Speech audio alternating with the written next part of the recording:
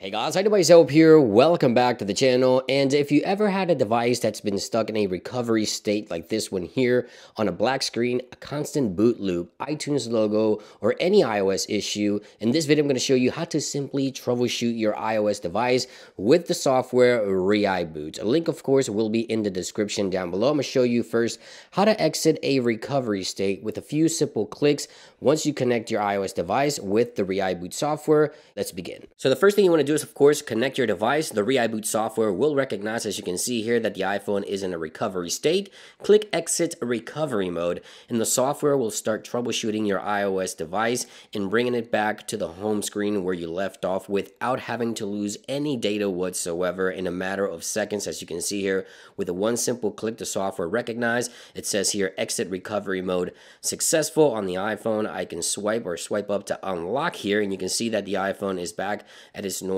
stage. Now, this can also troubleshoot stuck on an Apple logo, on a constant boot loop, and so much more as I mentioned. But aside from troubleshooting your iOS device, you can also repair the OS and restore and or upgrade your iPhones using the ReiBoot software as well. As you can see here, I connected my iPhone. I'm upgrading from 14.2 to 14.3 and I'm downloading the software directly with the ReiBoot software. You can see here once it's done downloading, I can click repair and this will start the restoring process, bringing your device back to a factory reset state where you can go ahead and restore your data at a later time and use your iPhone with a fresh restore. Now, if you have any other issues where your iPhone just isn't responsive, this will actually repair your OS as well, which in a matter of minutes, you can have your device back and work in order. As you can see here, it is now restoring the OS. I'm fast forwarding through the process, of course, so you don't have to watch as long here on YouTube, but it doesn't take any more than 5 to 10 minutes to restore your iOS device. As you can see here, once it's done restore,